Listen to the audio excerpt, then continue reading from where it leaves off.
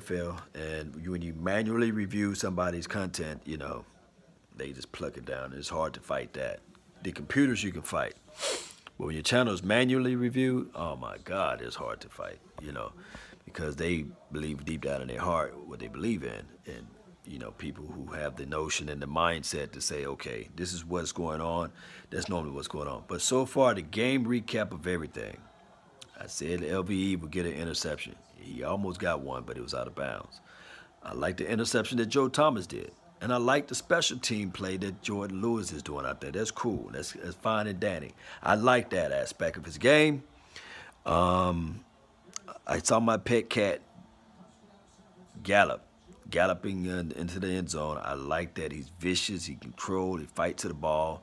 He point the ball. He looks good. Far as backup running backs, we should look good on that. I like the aspect of what number 45 is doing. I like the big guy Bo Scarbrough to as well. They're both showing up things, you know. But this is the thing. This is the game plan. I still, I still will be going live every day on all of the other platforms that I have. I also have a backup page called Law Nations 2.0. Now they got some crazy stuff on that channel, but you still guys can still subscribe, still join up to that channel and watch me go live.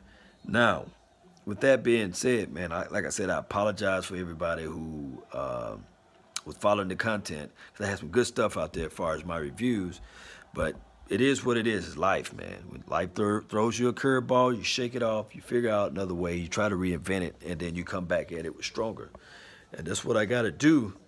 But although it hurts like a mother that you got to start all the way over, I would not be able to go live until like 2000 and I was playing. November the 11th. I think that's the date. That's a long time. That's a long time without hearing you guys, seeing you guys touching, feeling you guys with my thoughts, my emotions, what's on my mind. It's, it's, it's hard, you know, to do that.